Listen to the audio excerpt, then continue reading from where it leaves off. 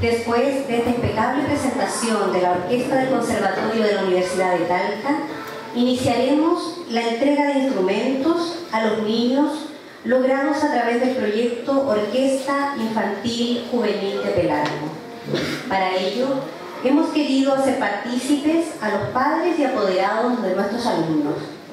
Invitamos al señor alcalde, don Bernardo Vázquez, a hacer entrega de un violín al apoderado señor Andrés Acevedo de nuestra alumna Villaray Acevedo.